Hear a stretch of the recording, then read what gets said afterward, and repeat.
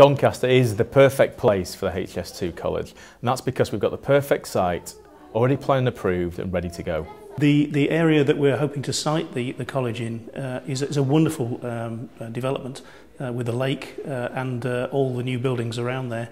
Um, it's, it's a great place uh, and um, I think that if, if, uh, if I were a student, uh, I'd love to come to a college that was uh, uh, taking that view The site's perfectly placed in terms of transportation links. We've got the A1, we've got the M62, we've got the M18 and we've got the East Coast Main Line right on the doorstep.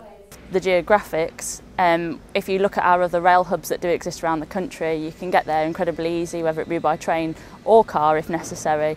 Um, and I think it would, I think it would be a, good place to have it up here.